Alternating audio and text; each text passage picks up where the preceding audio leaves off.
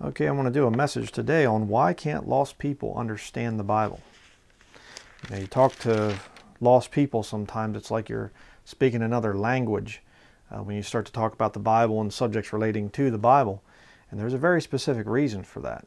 And uh, lost people will try to uh, read the Bible and they'll say it contradicts and this and that, and they find errors with it and things. And you can look at it as a Christian, a saved Christian, you go, well, that's not a contradiction. That this lines up with that, or that you know whatever.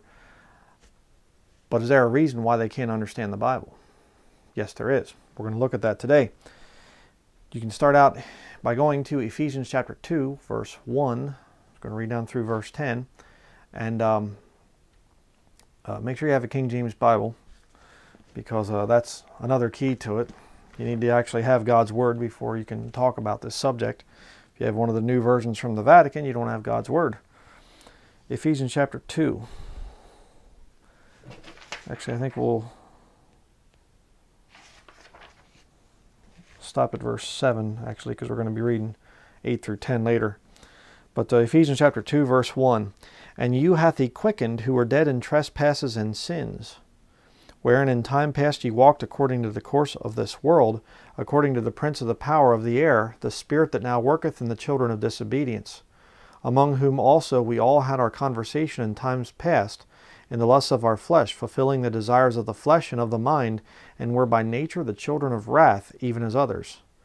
But God, who is rich in mercy, for his great love wherewith he loved us, even when we were dead in sins, hath quickened us together with Christ by grace ye are saved, and hath raised us up together and made us sit together in heavenly places in Christ Jesus.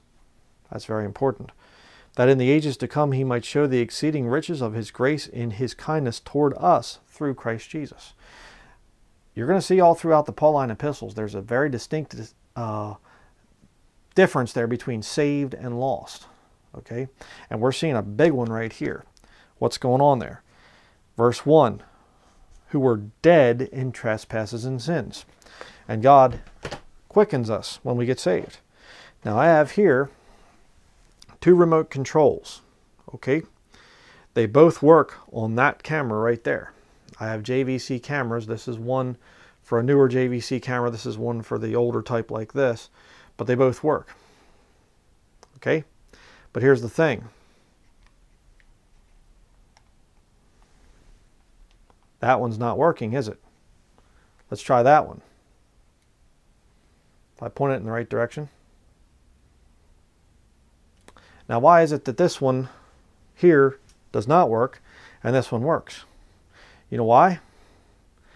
Because that little door right there is in and there's a battery in it. This one here, I checked the battery, it's dead. It's got a dead battery. So this thing, it doesn't matter how many times you push that button toward or away, you know, zoom in, zoom out. I can push start, stop, whatever, it doesn't matter. It's got a dead battery. This is a picture of a lost person. A lost person has the capabilities to understand and have a relationship with God, but the Holy Spirit, their spirit is dead. The Holy Spirit has not come into their their life. They're dead in trespasses and sins. They're like a remote control without a battery. I've said that in other sermons and things, but it il really illustrates the point. Until you get saved, you aren't going to understand the book. You cannot understand a spiritual book. This is not just a book of literature. This is not just a work of, of prose or something like this. No, no. This is a living book written by a living Savior. All right? And it, I heard an old statement. I've said this in other sermons, but I'll repeat it one more time. It bears repeating. And that is the King James Bible is the only book whose author is present every time you read it. Yeah. No other book can say that. This is an amazing book, this King James Bible, the world's best selling book in all of history. I mean, how many books do you know of that are 400 years old and still applicable to our modern day world and uh, still very popular? Still wars being fought over this book. This book is still banned in other countries. You know, a lot of people hate this book. It's an amazing book even the most wicked atheist out there has to admit that yes, This is an amazing book. It's not like any other book, this King James Bible. Okay? It's the most copied book, too, by the way. People try to copy it and pervert it and change it and update it and whatever else, but they can't. Nobody can replace that book. But let's go next to 1 Corinthians chapter 2. You another very important scripture here in, in relation to this thing of why can't lost people understand the book? First of all, we saw that they're dead in trespasses and sins. And by the way, I said there, uh, there in Ephesians chapter 2, talking about the thing of we're seated together in heavenly places in Christ Jesus right now. Uh, when you get saved, you're actually connected to the body of Christ, his actual physical body in heaven. So that's why sometimes you'll feel kind of down. I'm feeling very down right now. I'm actually very sick, uh, trying to get through this study, but uh, you'll feel kind of like, uh, you know, sometimes, and, and there's really no explanation for it. Well, it's because we're feeling what our Heavenly Father feels. That's what we're feeling. God looks down at this world and He says, It grieves me at my heart. I've re- I'm repented that I made man, sometimes just like back in the days of Noah, you know, and we are, you're going to feel that sometimes. And you, there's really not going to be much of an explanation for it. You know, I feel just really, really sick and very tired and whatever else, and I don't really know what's going on spiritual, some kind of spiritual thing going on. I have no idea. Uh, we felt uh, really good the last day or two, you know, just filled with joy, and then it's just like you just go back down again. You're going to feel some of that. Why? I'm connected to a living Savior. How do you know Jesus Christ is real? How do you know you haven't believed some kind of cultic thing? Uh, because I know what's real, okay? I can feel it, right? And I have a book. You see, I have it in writing. What do you have? Oh, we have traditions and things like this, traditions of the church. We have uh, traditions of the elders and things like this. Is it living? No, it's dead. But we'll continue on here. 1 Corinthians chapter 2, verse 9 through 16. And you're going to see, by the way, by the end of this study, um, why we can speak with such confidence as Bible believing Christians. Okay, you're going to see. 1 Corinthians chapter 2 verse 9 But as it is written eye hath not seen nor ear heard neither have entered into the heart of man the things which God hath prepared for them that love him. In other words heaven is not going to be this down here up there. Going to be totally different. And by the way, when you get to heaven it's going to be about Jesus Christ. It's not going to be about you. All right, Jesus is not building some kind of a special little log cabin back at a nice bass pond back in the wilderness or something for you. It's going to be about Him. He's going to give us mansions up there, but we're going to be worshiping Him. Heaven is about, you know, bringing praise and glory to Jesus Christ. But let's continue. Verse 10 But God hath revealed them unto us by His Spirit, for the Spirit searcheth all things, yea, the deep things of God. For what man knoweth the things of a man, save the Spirit of man which is in him? Even so the things of God knoweth no man, but the Spirit of God. Now we have received not the Spirit of the world, but the Spirit which is of God, that we might know the things that are freely given to us of God. Hmm.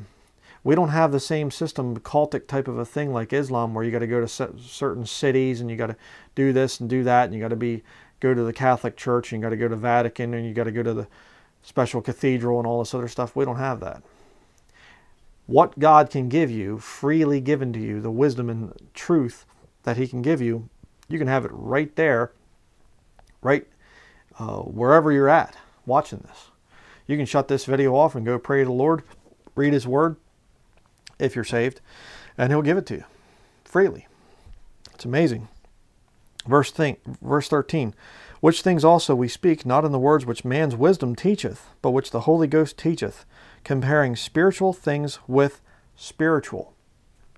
Very important. Okay, notice there, uh, not in the words which man's wisdom teacheth. You're not going to see much in the way of man's wisdom at this ministry here. I don't put on shows for people. Okay, um, this is not a high dollar production. I could do that stuff, but uh, I don't want to because I don't want people to worship me. I want people to understand that this is their standard.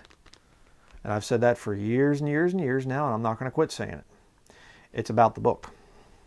It's not about me. Okay? Very important there. But the other thing that's important is, which the Holy Ghost teacheth, comparing spiritual things with spiritual. Okay? A Bible believing Christian, the thing that sets us apart from all other forms, fundamentalists and uh, evangelicals, Protestants, Catholics, whatever, the thing that sets us apart is we compare spiritual things with things spiritual. Check it out with the scriptures. Does this line up with that? Does that line up with that?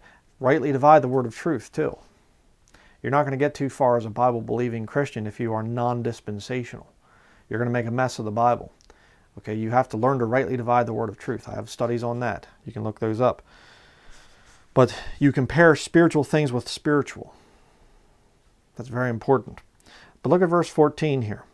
But the natural man receiveth not the things of the Spirit of God, for they are foolishness unto him. Neither can he know them because they are spiritually discerned. He cannot know them. Notice it says that. Neither can he know them. So you can't you can't explain vital Bible doctrines to an atheist. You know, these atheists, they're I'm more and more I'm convinced, you know, talking to Brother Eric John Phelps, and he said that atheists are essentially humanistic uh, Luciferians. Exactly it. Uh, they worship themselves. They worship, you know, they, they go back to the Garden of Eden thing with uh, ye can be as gods and all that. We'll be looking at that later. Um, but that's what they do. They believe that they can set their standards for good and evil in their lives. They're Luciferians. Uh, they rebel against God, is what they are. But you see, they'll come out and they'll say, well, I can understand the Bible intellectually. I can just look at this book and understand it intellectually. And ha ha, it doesn't make sense to me. See what they're trying to do? They're trying to uh, control the camera with a dead remote control. You see? And when it doesn't work, they say, I guess the camera's broken. Uh, no, you don't have batteries in your remote control. You're dead in trespasses and sins according to the book. And God isn't going to reveal anything to any atheist that's there in their pride. You have to have that pride broken and come to God as a repentant, contrite sinner. Repentant, meaning that you're willing to turn towards God. Turn from your self righteousness. Turn from your life of sin and say, okay, God, when you save me, you tell me what to do. I'll live for you. I will live a new life for you. All right? After salvation. It's important to get. Contrite. What is contrite? Understanding my sins are wrong. I've done bad things. I've sinned against God. I want to make restitution for that. You see? Broken, repentant, contrite spirit. You come to God that way, then He'll start to show you things about the Bible. Till then, nope. God resisteth the proud, but giveth grace to the humble. But let's continue. Verse 15 But he that is spiritual judgeth all things, yet he himself is judged of no man. For who hath known the mind of the Lord that he may instruct him? But we have the mind of Christ. Why do we have the mind of Christ as saved Christians? Because we've been saved. We're born again. We're new creatures in Christ Jesus. Important to remember. Go next to John chapter 14. And you know, again, I've said this before, I'm just going to repeat it because there's a lot of new people that come along. They don't watch the older videos right away. But uh, another thing is, I'm not going to be putting up a lot of scriptures on the screen for you because I want you to actually get the King James Bible in your own hands and you can get them pretty easily. You know, there's ones that are of poorer quality and things, but you're going to still get, you know, the, the vital doctrines of it. There's differences in some of the editions that, you know, because see, there's no copyright on the King James so people can print it and, and change some of the spelling and things like that. You know, you should stick with more of the Cambridge type. That's, but it's more of about a, a some of the spelling changes and things like that. Uh, you're still going to be able to come out with the truth, uh, even the ones where they change some of the spelling, whatever. You know, you go to a dollar store, in other words, to get a cheap one.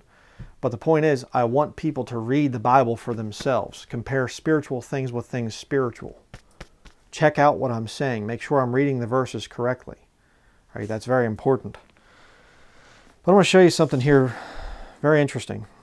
John chapter 14, verse 15. says here, If ye love me, keep my commandments, and I will pray the Father, and he shall give you another comforter, that he may abide with you forever, even the Spirit of truth, whom the world, look at this, cannot receive, because it seeth him not, neither knoweth him. Hmm. But ye know him, for he dwelleth with you, and shall be in you. All right? This is before Jesus dies on the cross, so he's telling them what's going to be coming in the future. The Holy Spirit comes upon them, and now they understand the truth. The Holy Spirit comes upon you when you get saved. You don't have to worry about, you know, these charismaniacs, they'll sing, you know, come Holy Spirit, come into our meeting, Holy Spirit. Uh, well, you ought to get saved. Then you wouldn't have to try to look for him. He'd be there already. And a lot of these charismaniac devils also, they teach this thing of, you know, well, you get saved and then you've got to seek the Holy Spirit. That's a problem. Because what Jesus is saying right there, he sends the comforter. He's not saying this is after salvation, so you get saved, you get born again, and then later on the comforter comes. No, no, no, no. What he's saying is right now, he hasn't died on the cross yet. It's still somewhat of a mystery. So when he dies on the cross, then when salvation comes, the Holy Spirit comes right then. But let's continue. Verse 18 I will not leave you comfortless, I will come to you. Yet a little, yet a little while, and the world seeth me no more, but ye see me, because I live, ye shall live also. At that day ye shall know that I am, uh, I am in my Father, and ye in me, and I in you. He that hath my commandments and keepeth them, he it is that loveth me, and he that loveth me shall be loved of my Father, and I will love him, and will mani- manifest myself to him. Judas saith unto him, not Iscariot, another the other Judas there, uh, Lord, how is it that thou wilt manifest thyself unto us and not unto the world? Now look at this. Verse 23 Jesus answered and said unto him, If a man love me, he will keep my words. And my Father will love him, and we will come unto him, and make our abode with him. He that loveth me not keepeth not my sayings, and the word which ye hear is not mine, but the Father's which sent me. These things have I spoken unto you, being yet present with you. But the Comforter, now look at this, how he defines it, which is the Holy Ghost, whom the Father will send in my name, he shall teach you all things, and bring all things to your remembrance, whatsoever I, I have said unto you. Okay, so again, we're seeing this thing being reinforced over and over again here in Scripture. When you get saved, God sends the Holy Ghost, or Holy Spirit, whatever you want to say there. You, God sends the Holy Ghost into your life, and you are quickened now you're able to understand this book. And before you do that, before your pride is broken, before your self righteousness is broken, God's not going to reveal anything to you about this book. The only thing that God will reveal to a, a sinner is the fact that they're a sinner. Again, that's why the world hates this book so bad, because they know that this book condemns them. And it does. This book says that they're going to go to a place called hell and they're going to burn eternally, weeping, wailing, gnashing of teeth in pitch black darkness because of their sin and the fact that they've rejected Jesus Christ. Hmm. That's why they hate the book. And that's why they try to intellectually approach this book and try to figure things out and stuff like that. You can't. Until you're born again, you cannot understand this book. It's not possible. Okay, another place to go to here, 1 Thessalonians chapter 2.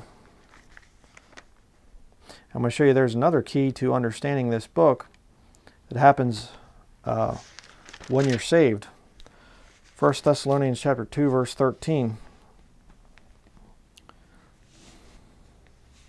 says here for this cause also thank we God without ceasing because when ye received the word of God which ye heard of us ye received it not as the word of men but as it is in truth the word of God, which effectually worketh also in you that believe. Hmm. Now, there's another very, very important principle there. You see, the Holy Spirit can come in, will come into you at salvation, not can come, will come into you at salvation, and He will teach you what this book says. But this book will seem foreign to the life of a carnal Christian. It won't seem to make sense it won't really, there won't be much life application going on. You won't be able to read it and go, yeah, I can relate to that. I'm going through that. It won't happen that way. Why? because the carnal Christian does not really believe what they're reading. You see, another part of understanding this book and, and living according to the scriptures is what's your attitude towards it? Do you approach this book with a critical eye?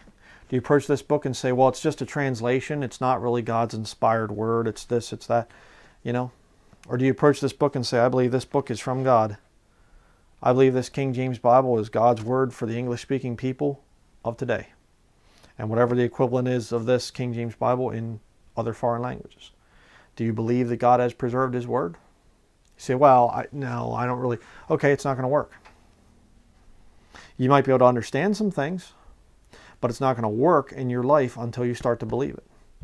You know, a lot of these guys, I'm convinced of this as time goes by. I've seen a lot of these guys that are that are Bible believing Christians and whatever else, but they they start doing things that are contrary to the Word of God, and God just goes, "Okay, you're on the shelf." I've seen that thing. You get some of these guys that are that are stuck in these church buildings and things like that, and they know, they know. I've seen it. They they'll say, "Well, yeah, there's no church buildings in the New Testament." Then why are you doing it? Then why? Well, you know, it's well, it's you know, and they'll come up with these excuses and things like that. You know what happens with a lot of them? God sticks them on the shelf. All they do is they go and they, they preach the same sermons, you know. They have uh, 30 different sermons and they preach them wherever they go. God doesn't show them a whole lot of new things. Why? Because they stop believing certain parts of the Bible, certain things in the Bible that are, they're kind of ashamed of you know, you need to have that credibility of, of I have a church building. You know, you don't want to stand inside of a room with just your bookshelf behind you or whatever else. You look kind of foolish. You know, I'd look a lot better now, I guess, if I had a really expensive suit and tie on. You know, clean shaven and all this other stuff. You see? You say, why don't you do those things? Because I don't care. I live by this book. I, my desire in life is to prove to you that this book is real, that this book works. That's my desire. And yeah, it's a lot more difficult sometimes than just to, you know, to, to live by the Bible than to just go along with the flow. But that's what I'm going to do. So you need to believe God's word if you expect it to work in your life. Now we're going to go to Exodus 31. What is the Spirit of God? Now, this is a very interesting part. This is the main part of this study. I just, little other part there was kind of the beginning, the introduction. But I want to talk to you about the Spirit of God. Very interesting. Exodus chapter 31. We'll start here in verse 1, read down to verse 5. It says here, And the Lord spake unto Moses, saying, See, I have called by name Bezaleel, the son of Uri, the son of Hur, of the tribe of Judah. Interesting, Jesus, Jesus is the lion of the tribe of Judah. And I have filled him with the Spirit of God. Now look at this. There's four things mentioned here. We're going to cover these in detail. In wisdom, and in understanding, and in knowledge, and in all manner of workmanship. To devise cunning works, to work in gold and in silver, and in brass, and in cutting of stones, to set them and in carving of timber to work in all manner of workmanship. All right. So God chooses this young man. All right. But see, notice the things there. The four: wisdom, understanding, knowledge, and manner, and all manner of workmanship. All right. When the Holy Spirit comes into your life, He will give you those things. And we're going to look at those in detail, see what each one is. We're going to start out here with wisdom. Where does wisdom come from? Psalm, the book of Psalm, Psalms, Psalm 110.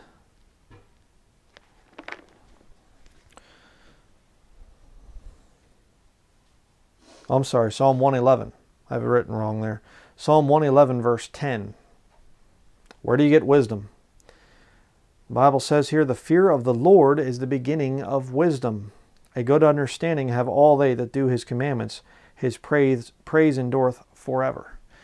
Now, again, take these intellectual little smarty pants out there, these atheistic fools. And today, actually, as I'm preaching this, it's April 1st, so happy Atheist Day to everybody out there that's an atheist. Uh, April Fool's Day. But uh, you take these little intellectual people, and they're just like, I'm going to understand this book and I can understand anything that you can preach and all this other stuff. Uh, do you fear God? No, I don't even believe in God. And they'll make fun of God. They'll say nasty things about the Lord. Okay, then you don't have any wisdom, any real wisdom. Okay? The Bible says the fool hath said in his heart there is no God. The fear of the Lord is the beginning of wisdom. You see, when you come to God as a sinner, part of that whole decision to become born again, to come to, to the Lord in that broken, contrite spirit is I understand that there is the wages of sin is death. I understand that there's something that's going to happen to me if I don't come to God for salvation. You learn to fear God. And by the way, that fear extends the whole way through your life as a Christian. we're going to look about what this fear is all about. Let's turn back to First Chronicles. First Chronicles 13. Now, I might have made this mistake. I didn't, I'm not going to go through all my old sermons and stuff like this, but if I've ever said that the fear of God is kind of a reverential fear like a son would have for their father, uh, that doesn't quite cover it. That does not quite do it. I'm going to show you what real fear of God is all about. First Chronicles chapter 13 verse 9 through 14. It says here, And when they came unto the threshing floor of Chidon, Uzzah put forth his hand to hold the ark, for the oxen stumbled. And the anger of the Lord was kindled against Uzzah, and he smote him because he put his hand to the ark, and there he died before God. And David was displeased, because the Lord had made a breach upon Uzzah. Wherefore that place is called Perez Uzzah uh, to this day. And David was afraid of God that day, saying, How shall I bring the ark of God home to me? So David brought not the ark home to himself to the city of David, but carried it aside into the house of Obed Edom the Gittite. And the ark of God remained with the family of Obed Edom in his house three months. And the Lord blessed the house of Obed Edom and all that he had. Why was David afraid? And more important question, why did God drop Uzzah? So you look at that thing and you go, what's the big deal? I mean, the ark shifted a little bit and he goes like this and he, you know, just catches it. The oxen, you know, stumble a little bit and, and the ark, you know, he didn't want the ark to fall off on the ground. Yeah, but you see here, by doing that, he was saying, I don't trust God to take care of this ark. And if you notice in verse 8, and David and all Israel played before God with all their might, and with singing, and with harps, and with psalteries, and with timbrels, and with cymbals, and with trumpets. So they're having this big like worship service and things because the Ark of God's back there in Israel and things, and it's just like, you know, could it have start, you know, could could there have been a possibility that it was starting to get a little bit carnal? Maybe some pride entering in there. I don't know. The text really doesn't say, but uh, you have to wonder. But God looks down and he sees that Uzzah and he goes like this and he, he reaches her, grabs her, however he did it, and God just goes, bam, you're dead. See, God knows the thoughts. And sometimes we look at something that happens to somebody and we go, wow, I wonder what happened. You know, it's terrible death that that person died. You know, why would God allow something like that? Why would God cause the death of somebody like that? Because God knows the secrets there. He knows the thought life. He knows what's going on when we don't. All right? He is a just judge. God will never judge somebody unrighteously. It's not ever going to happen. All right? But you see there, David was afraid of God that day. Why? Because David had some sin in his life.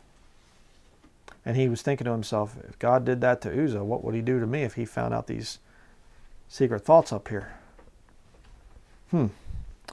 But uh, Obed Edom, what did God do when they took the ark into his house? God blessed him. You see, there's a great blessing that comes upon those who fear God.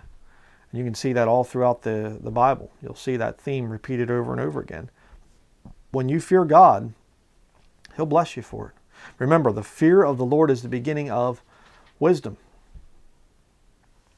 And that's why I'm saying lost people, they can't understand the book because they don't fear God. They're, God's not going to show anything to somebody that doesn't fear Him. They haven't even found the beginning of wisdom yet. You see? You say, but the, okay, this is all in the Old Testament. This is back there in the Old Testament. We don't have to do that anymore, right? Second Corinthians chapter 5.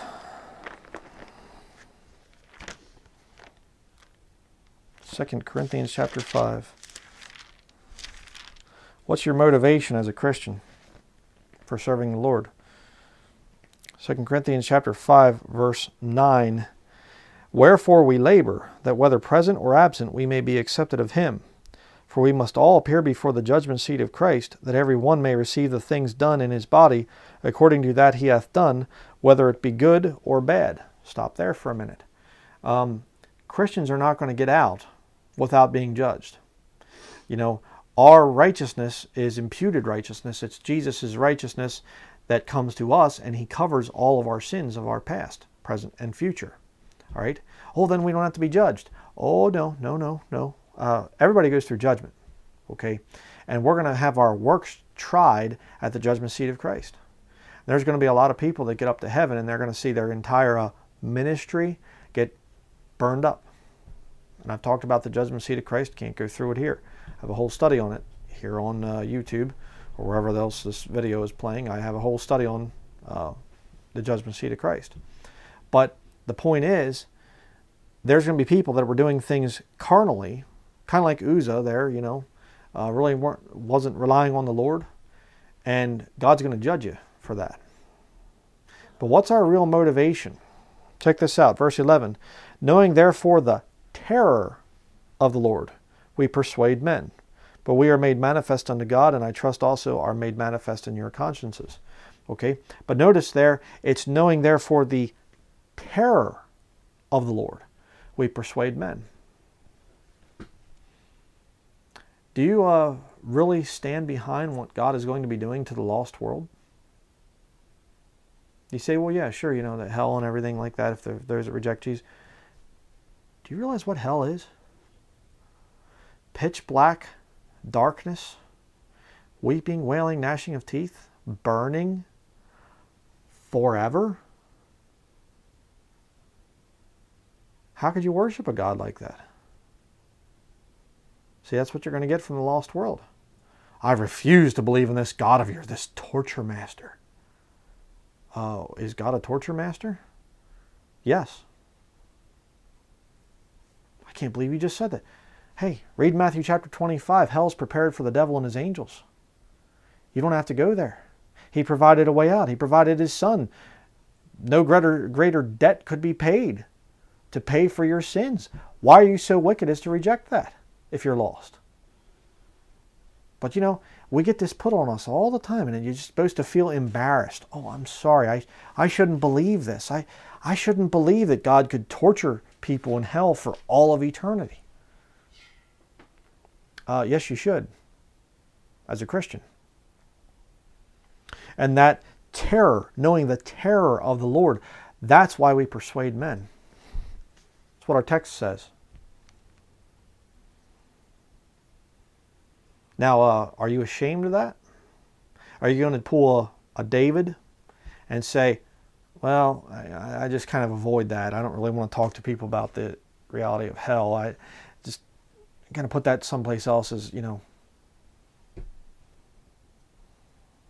Or do you say, uh, no, you know what? I believe in hell. I believe in the reality of hell. And I'm going to tell people about the reality of hell. I'm going to tell them about the terror of the Lord. Do you fear God enough to do that? The fear of the Lord is the beginning of wisdom. If you're ashamed of this book, God's ashamed of you. Hmm. Next, go to Romans chapter 1.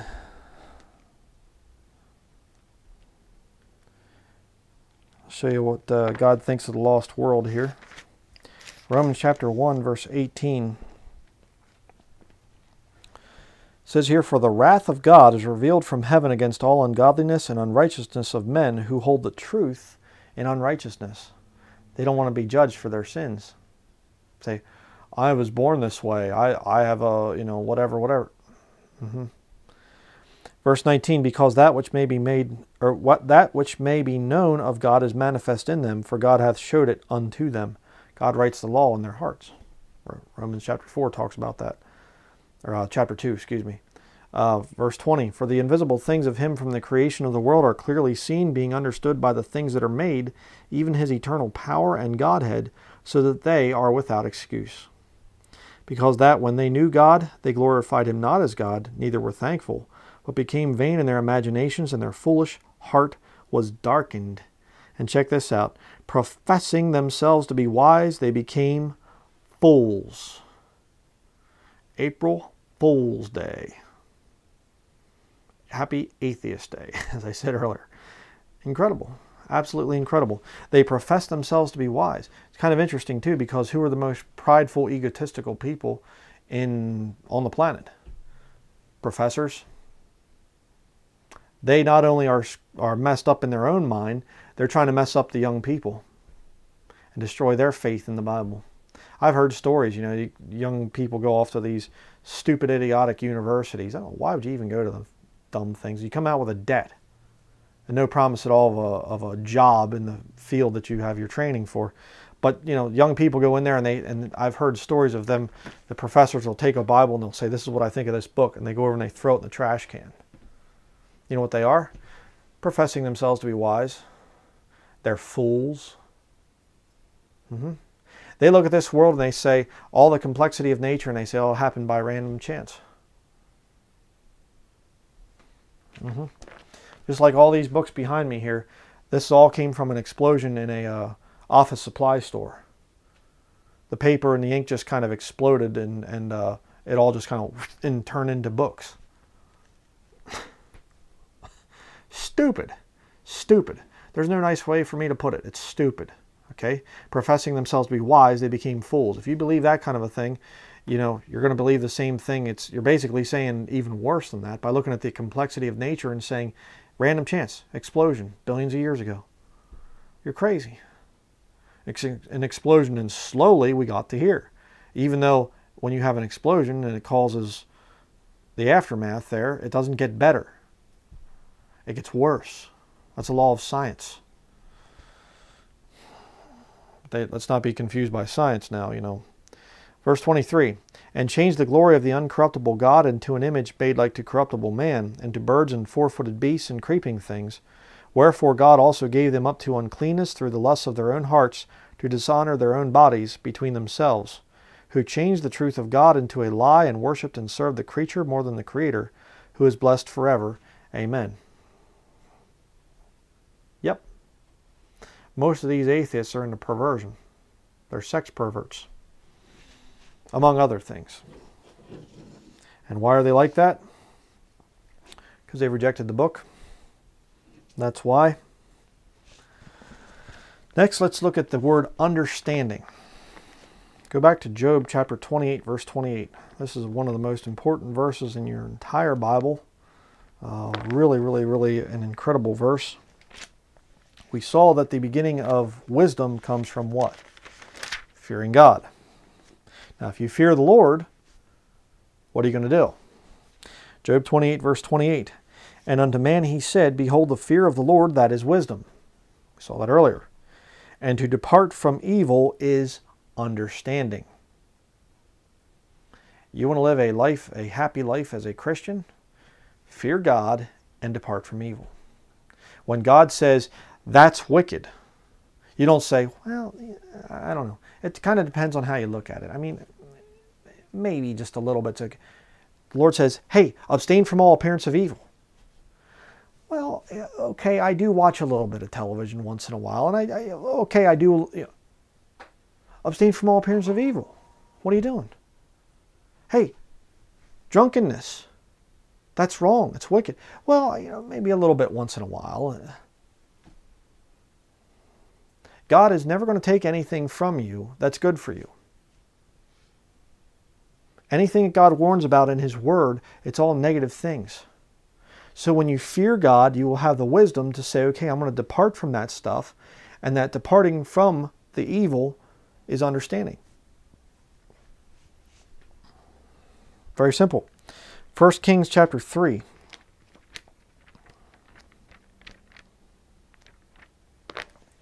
1 Kings chapter 3 verse 5.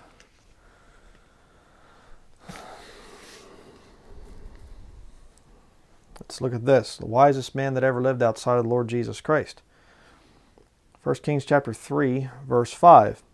In Gibeon the Lord appeared to Solomon in a dream by night, and God said, Ask what I shall give thee. Kind of a genie in the bottle type of a deal, you know. I'll give you a wish, whatever you want. And Solomon said, Thou hast showed unto thy servant David my father great mercy, according as he walked before thee in truth, and in righteousness, and in uprightness of heart with thee, and that and thou hast kept me, or thou hast kept for him this great kindness, that thou hast given uh, him a son to sit on his throne, as it is this day. And now, O Lord my God, thou hast made thy servant king instead of David thy my father, and I am but a little child. I know not how to go out or to or come in. And thy servant is in the midst of thy people which thou hast chosen, a great people that cannot be numbered nor counted for multitude. Now look at this. Give therefore thy servant an understanding heart to judge thy people, that I may discern between good and bad, for who is able to judge this thy so great uh, a people? And the speech pleased the Lord that Solomon had asked this thing. And God said unto him, Because thou hast asked this thing, and hast not asked for thyself long life, neither hast asked riches for thyself, nor hast asked the life of thine enemies, but hast asked for thyself understanding to discern judgment. Behold, I have done according to thy words. Lo, I have given thee a wise and an understanding heart, so that there was none like thee before thee, neither after thee shall any arise like unto thee. Interesting because there has never been another political ruler on the planet like King Solomon. That's why the Masons worship him. That's why a lot of their rituals are based around things that King Solomon did. There's never been anybody who's been as rich, had as many wives and, and concubines, had as much power, had as much knowledge. Nobody. Jesus Christ was the only one that had more wisdom than he did. But the point is, no other ruler ever in history could equal King Solomon. And what was it that he asked for? Understanding. Hmm. And what was tied to that understanding? Judgment. To depart from evil is understanding. What do you need to, do to be able to depart from evil?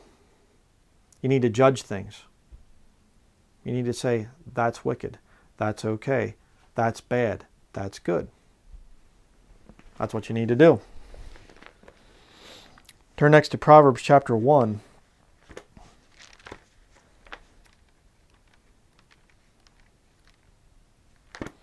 Proverbs chapter 1, verses 1 through 7. This is written by King Solomon. Definitely my favorite book of the whole Bible, the book of Proverbs. A lot of wisdom in there.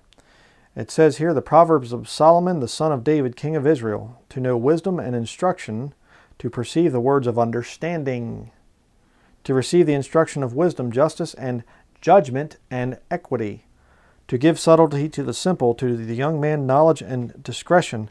A wise man will hear and will increase learning, and a man of understanding shall attain unto wise counsels. To understand a proverb and the interpretation, the words of the wise and their dark sayings.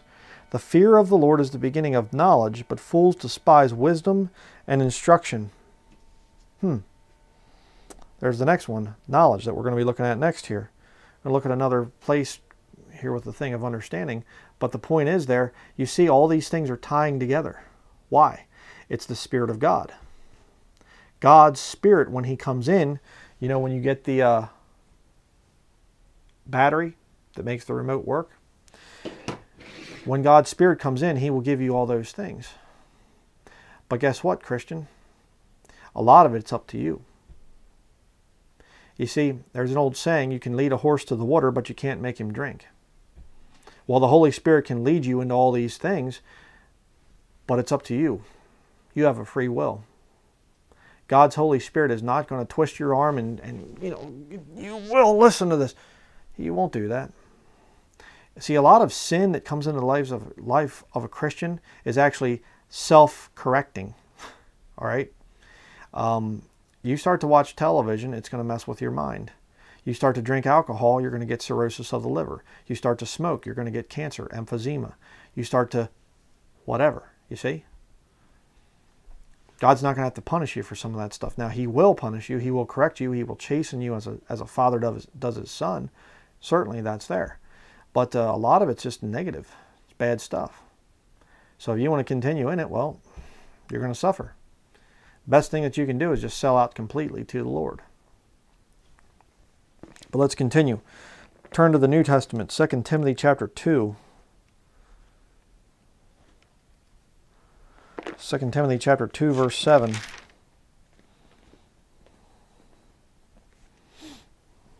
Says here, Consider what I say, and the Lord give thee understanding in all things. Mm-hmm. Do you consider what Paul says? I hope so, because those are your instructions, your uh, marching orders as a Christian, so to speak. And by the way, it says there in verse 3 Thou therefore endure hardness as a good soldier of Jesus Christ. You know, when you're a soldier, you get army manuals and, and regulations and things like that. And, you know, our, our modern day military, a lot of the regulations aren't any good. A lot of it's just nonsense, bureau, bureaucratic red tape and things.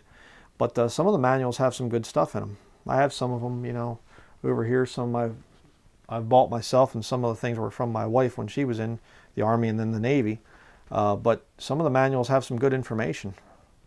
And that's just written by carnal, lost people. But how about this manual? You see? You see, the lost world looks at this book as a as a uh, stupid old book. It's archaic. It's it's ridiculous. We ought to get rid of that Bible, these Bible thumping people, and all this stuff like that. But if they would actually get saved and start to live by the pages of this book and understand it, and understand that this book, you know, one of the reasons why there's so much bad stuff in this book, stories of people being killed and, and rape and this and all this other bad stuff, because God tells the truth about man. That's why. You know why God had all those bloody rules and things back in the Old Testament? Because man is wicked. And God was dealing with a nation, a nation of Israel. And he was saying, hey, go in there and you kill all those people. Why? They're wicked. They're very wicked. See, sex perversion starts out and it gets worse and worse and worse, and it always ends the same way. It ends with defiling children. Always. And that's what's happening in America right now. Another subject. But now let's look at knowledge. Now there's a warning with this one. 1 Corinthians chapter 8. you're going to see here that knowledge can be, this is one of the things that people can have, saved or lost.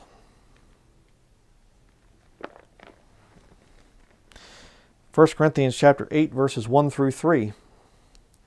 But as touching things offered unto idols, we know that we all have knowledge. And I believe he's talking to saved people, but knowledge is going to be there for saved and lost. We'll show you that as we continue. Knowledge puffeth up, but charity edifieth. Who do you think you are? I mean, you're talking to me like I'm some kind of lower than you. I have a PhD. I have a THD. I have a THM. I have a DD. I have a. What is that? Knowledge puffeth up. You see?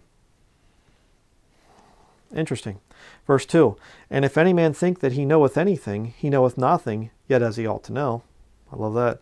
But if any man love God, the same is known of him. Do you love God? I don't believe God exists. okay, puffed up, egotistical, you know, fool. That's what these people are. We're going to see where you got your knowledge from. Turn way back to the beginning, Genesis chapter 2. I'm going to demonstrate to you that uh, you can have knowledge without it being connected to the Lord. Genesis chapter 2, verses 8 and 9 says here, And the Lord God planted a garden eastward in Eden, and there he put the man whom he had formed. And out of the ground made the Lord God to grow every tree that is pleasant to the sight and good for food. The tree of life also in the midst of the garden, and the tree of knowledge of good and evil. Hmm. Verses 16 and 17 of the same chapter says, And the Lord God commanded the man, saying, Of every tree of the garden thou mayest freely eat, but of the tree of the knowledge of good and evil thou shalt not eat of it, For in the day that thou eatest thereof, thou shalt surely die. Hmm. Very interesting there. God gives us wisdom, He gives us truth freely. It says back there in 1 Corinthians chapter 2. Here it says you can eat of the these different trees freely. But when you eat of that tree of the knowledge of good and evil, then you die. Hmm. Now let's see what the tie-in is, is here. Genesis chapter 3, verses 1 through 7. Now the serpent was more subtle than, than any beast of the field which the Lord God had made, and he said unto the woman, Yea, hath God said. Questions God. Ye shall not eat of every tree of the garden. See? He questions God. Verse 2 And the woman said unto the serpent, We may eat of the fruit of the trees of the garden, but of the fruit of the tree which is in the midst of the garden, God hath said, Ye shall not eat of it, neither shall ye touch it, lest ye die. God didn't say that. She added to God's word. But look at what Satan says to her. That's who it's talking about here in the context. And the serpent said unto the woman, Ye shall not surely die. He's denying what God says. For God doth know that in the day ye eat thereof, then your eyes shall be opened, and ye shall be as gods, knowing good and evil. Hmm. And when the woman saw that the tree was good for food, and that it was pleasant to the eyes, and a tree to be desired to make one wise, professing themselves to be wise, they became fools. See how it all ties together? She took of the fruit thereof, and did eat, and gave also unto her husband with her, and he did eat. And the eyes of them both were opened, and they knew that they were naked, and they sewed fig leaves together and made themselves aprons. Interesting because the masons, high level masons, wear aprons, little lambskin aprons. Very interesting. A lot of things I could say there, but we're not going to go off on that. But the point is, the eyes of them both were opened. You know what they call that today? Enlightenment. Isn't that funny? I've transcended your ideas of sin. What are you? I'm enlightened. yes, you certainly are. Your eyes have been opened. You're a Satanist, a Luciferian, a devil worshiper. These people out there, these, these Luciferian atheists, that's what they are. They think that they know good and evil. In reality, their goose is cooked. They're going to be going to hell. You see, you can have knowledge. There's nothing wrong with knowledge. There's good things in, in the Bible that talk about knowledge. There's no problem there. But the point is, knowledge is something that's just, I mean, a, a lot of this stuff here is knowledge. Okay? A lot of these books, you know, I, I have books that saved and lost people. All right? I'd like to study a lot of different things. I have a lot of this is just for documentation and whatever else. I don't say that everything here is absolute truth. Certainly not. But these people, a lot of them have knowledge but they don't have the wisdom that comes from first fearing God, and they don't have understanding that comes from departing from evil. They don't have those. So, what does their knowledge do for them? Sends them to hell. Hmm. But now we're going to go back and focus on the Christians again. What about workmanship? Turn back to your New Testament to the book of Ephesians, chapter 2.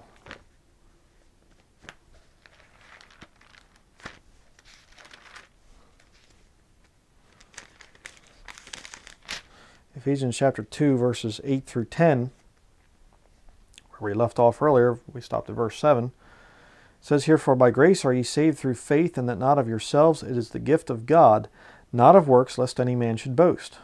For we are his workmanship, created in Christ Jesus unto good works, which God hath before ordained that we should walk in them. Hmm, ordained that we should walk in them. And of course, some devil worshipping little easy believism heretic will say, well, it says should, doesn't say we have to. Oh, please, come on. Don't listen to these people. You know, the changed life gospel is bad. Don't listen. They're false. They're false prophets. They're false, whatever. They're liars. Okay? Right there, you're seeing it. Okay? God did not say here, the Bible does not say, we are his workmanship created in Christ Jesus unto good works before our salvation. No, no, no, no. Good works come as proof of salvation. That's going to be there. And we've talked about that in plenty of studies. Go from here to Revelation chapter 4.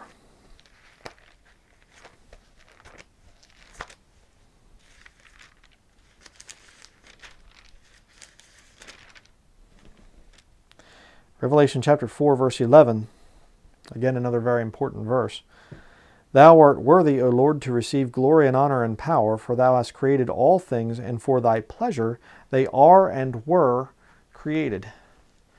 Let me ask you a question, Christian. Is your life bringing pleasure to God? Is He pleased with your actions? Do you fear Him? Well, I respect Him.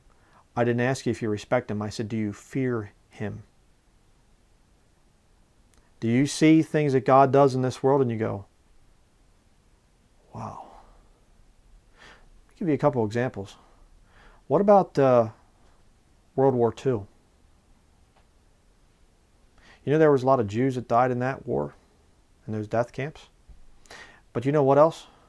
There were a lot of Germans in Dresden that the uh, Allied forces firebombed. Why didn't that come up at the Nuremberg trials? Why didn't it come up in the Nuremberg trials that the United States also firebombed Tokyo? Dropping incendiary bombs down and burning civilians? including little children? Huh. Even though that was illegal, it was a war crime. But you see, the Allies won the war, so they weren't prosecuted. And I'm not saying, I'm not defending the Nazis. Believe you me. But they weren't attacking the Nazis, they were attacking the German people when they firebombed Dresden. They weren't attacking the Japanese fascist forces, they were attacking the people. Why? Why were little children burned to death? Old men, old women, why were they burned? You know why? Because the God of this book said, I have plans for the nation of Israel, and I'm going to bring the nation, that those Jewish people, back to their land. Looks down at the earth and he says, oh, a couple million people are going to have to die to set my plans in motion. Okay.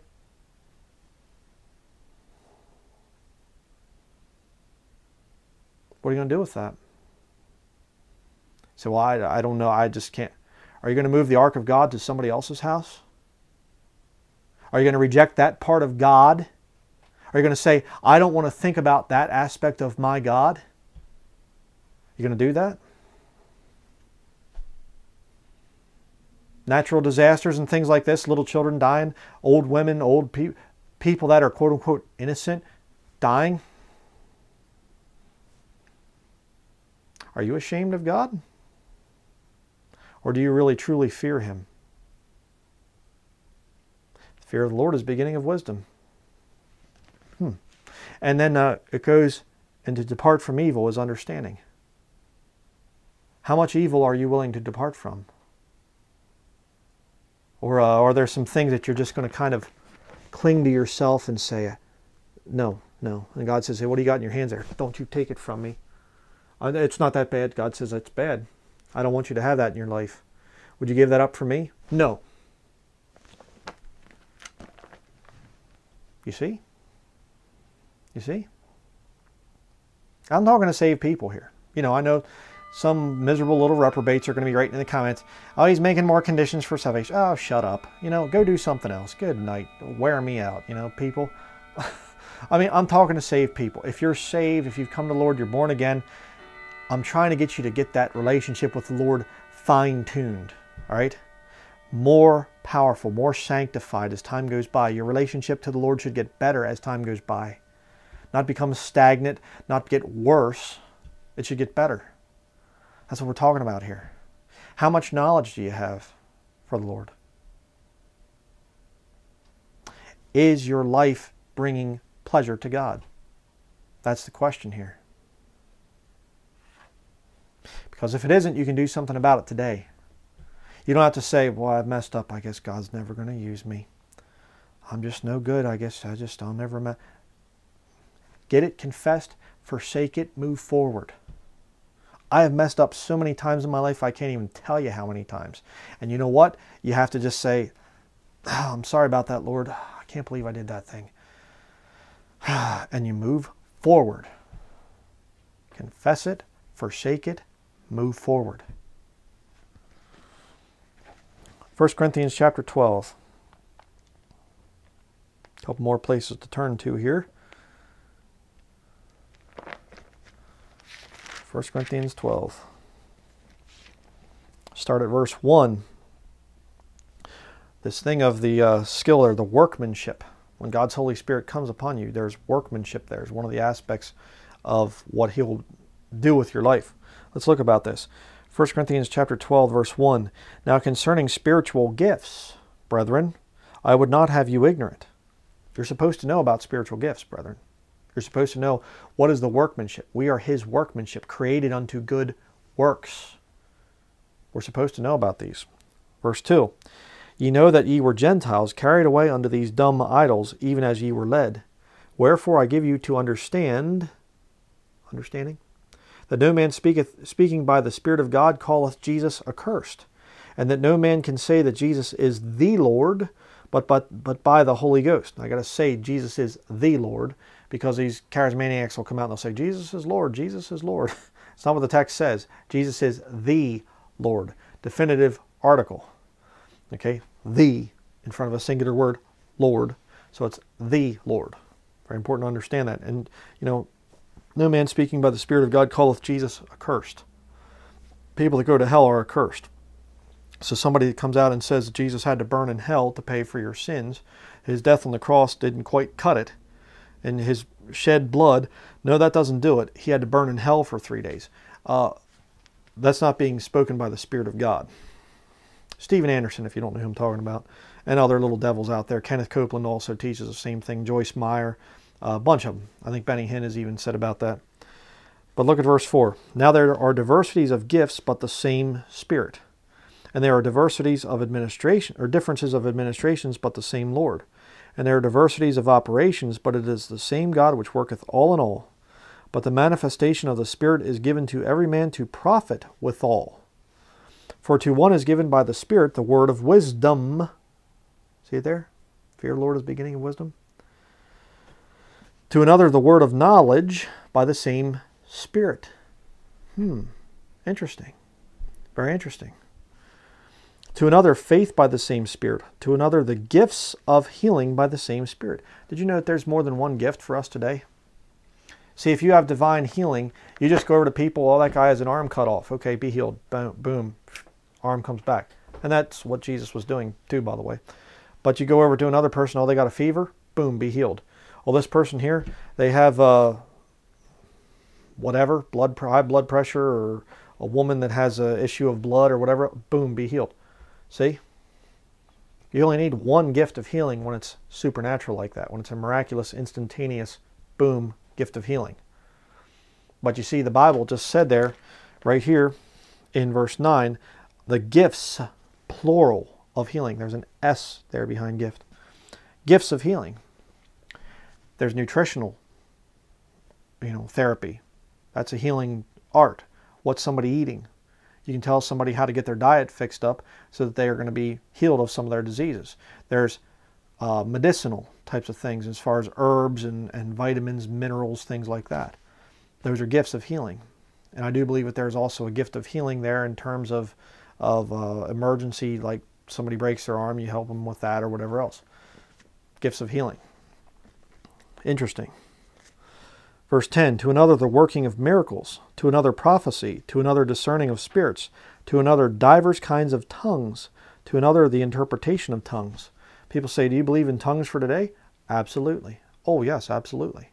I believe in English, German, Spanish, French, Italian, say, oh no no no no no no. I meant I meant uh, like the Holy Spirit speaking in tongues type of a thing. Of uh, that's not in the Bible. Okay, this hashtala shantayantaya botai, this all this stuff that the charismatics do. Mm-mm. No, you're not going to find that in your Bible. All right, the Book of Acts, it's always a known language. Look at Acts chapter two. By the time you get here to the 1 Corinthians 12 through 14, you have to have interpretation of those tongues. Why? Because there are people there that don't understand it. But they're always known languages. You say, what about unknown tongues? That's why there's an interpreter. you look at the book of Acts, there's no interpreters. Why? They're known languages. 1 Corinthians 12 through 14, you need an interpreter. Why? It's an unknown tongue. Nobody understands that specific tongue. All right? Again, I have a whole study on that. Verse 11 But all these worketh that one and the selfsame Spirit, dividing to every man severally as he will. For as the body is one and hath many members, and all the members of that one body, being many, are one body, so also is Christ. For by one Spirit are we all baptized into one body, whether we be Jews or Gentiles, whether we be bond or free, and have been all made to drink into one Spirit. We are one. You know, we're not uh, uh, churches, multiple churches that scattered throughout. You know, churches are just called out assemblies, but we're all one body. All right, understand that. But you see there the thing of workmanship. Can you find something in that passage there, verses 1 through 13, that relates to your life? You say, well, I, I don't really see anything in there. Is it because you have not had the fear of the Lord really strongly manifest in your life and because you're not departing from evil? Because you see there, you go back there in our text to, uh, what was it, Exodus 31. Wisdom, understanding come before knowledge and workmanship. So it's the path to sanctification. You start out, you say, the fear of the Lord is the beginning of wisdom. That's how you get started. You fear God. The amazing grace, you know, goes, "Twas grace that taught my heart to fear, and uh, grace my fears relieved." All right, but you start out with fear. You fear God, and you say, "I need to get saved." The fear of the Lord is the beginning of wisdom. To depart from evil is understanding. Knowledge comes next, and then workmanship. So if you were saying, I don't really see many spiritual gifts in my life, maybe it's because you don't have the first three worked out. Work on those. One more place to go here Colossians chapter 1. Colossians 1, verses 9 through 12. Now, notice we're going to see all of the four things there in this passage. Colossians 1, verse 9 says, For this cause we also, since the day we heard it, do not cease to pray for you, and to, desi- and to desire that ye might be filled with the knowledge of his will in all wisdom and spiritual understanding, that ye may walk worthy of the Lord unto all pleasing, being fruitful in every good work, workmanship, and increasing in the knowledge of God, strengthened with all might according to his glorious power, unto all patience and long suffering with joyfulness giving thanks unto the Father, which hath made us meet to be partakers of the inheritance of the saints in light. Very important verses. And to conclude this study, uh, you know, this, this thing of lost people, um, you cannot expect them to understand this book. And you know what? When people try to draw you into debates about uh, why does the Bible say this or why does the Bible say that, you're really just wasting your time when you try to debate things from the scriptures. Uh, I'll, I'll, grant you there are times that you'll hear somebody and they say, well, you know, I, I got saved because I heard of such and such thing or whatever else. But uh, you got to be real careful of that as a Christian. Uh, the lost world is going to try to get you to back off on your stands for the truth. They're going to try to uh, shut you up. You know, the Holy Spirit of God within you trying to speak to them and convict them of sin. They're going to try to get you away from that. And uh, the fact of the matter is, they're not going to understand this book until they get saved. That's the way God has it worked out. Uh, they're not going to turn anything on when they have a dead battery. Know what I mean? But I just want to tell you, uh, things are going to get a lot rougher uh, as time goes by in some ways. I'll say more about that in a minute. But, uh, you know, I've never taught that uh, the rapture is just a, you know, we sit on a satin pillow and we just eventually get caught up to be with the Lord and we never have to suffer anything. If you're saved, you're going to suffer. And if you're saved, you have suffered at the hands of lost people. Many times your own family members, own relatives. And uh, you're going to get kicked around like that. And what they want from you is they want you to stop being so dogmatic. They want you to be stop stop being so judgmental. You know why? Because they don't like the standard that God gave to man. That's why lost people can't understand the book. That's why. because they haven't taken step one. They haven't come to the Lord and said, I fear you. I understand what you've done to people throughout history, and I know it's just by your grace that I'm even breathing right now. I mean, I understand something. You know, this becomes more and more apparent to me as time goes by. We are literally walking around with people that in a few years from now are going to be taking the mark of the beast and getting God's pure 100% wrath. You know, you can be the most tattooed, pierced, fornicating, devil worshiping, drug addicted, whatever today and get saved.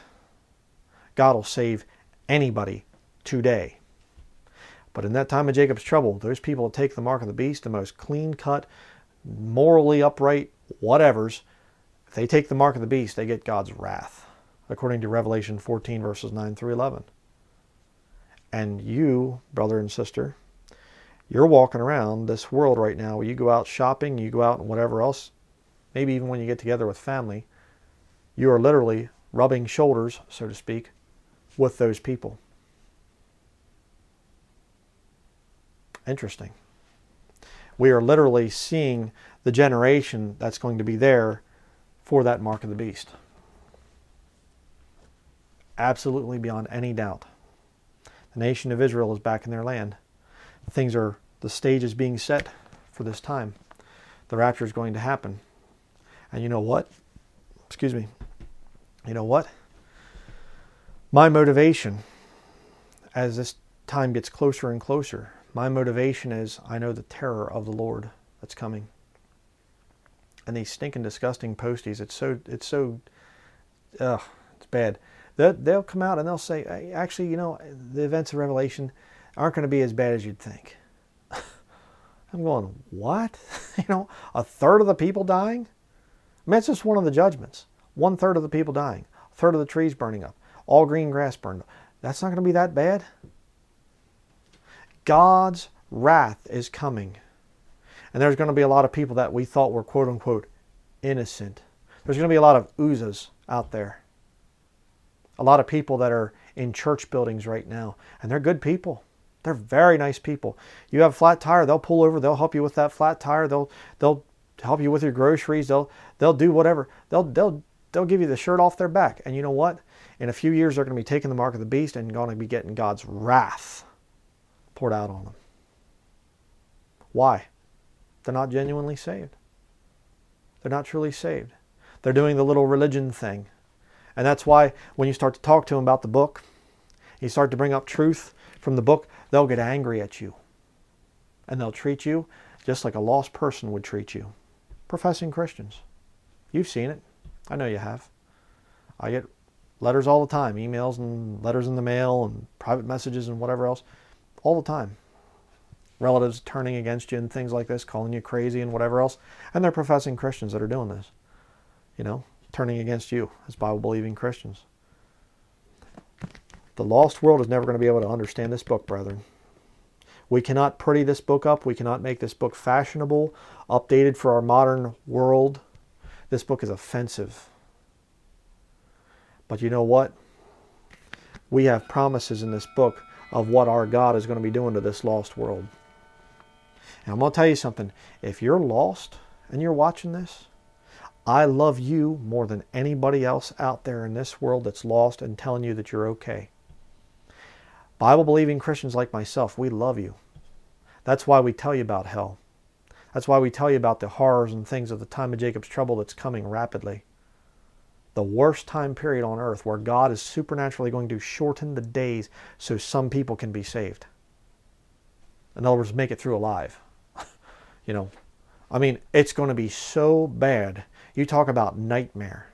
The Bible says in Revelation 6 4 that peace is taken from the earth. The animals turning against people, natural disasters, the, all the water in the world turning into blood. And I'm warning you. And for you Christians out there, don't be ashamed of the book. Stand by the Word of God. And it ain't going to get any better either, you know. and when I say it's not going to get any better, I'm not trying to discourage you. Because you see, there's one aspect of being a Bible believing Christian. When you start to believe this book and you say, I fear God, that's the beginning of wisdom. I'm going to depart from evil. That's understanding. And I can have knowledge. I can read this book and I can see this book and I can see the applications out there in the world. I say, oh, knowledge. And I know what God wants me to do with my talents that He's given me. So I have workmanship also. And you combine the four, you know what? The threatenings of the lost world aren't going to they aren't going to bother you anymore. Because you know you're right. They come along and say, You think you're right and everybody else is wrong? Well, in terms of salvation, yes, I do. Yes, I do.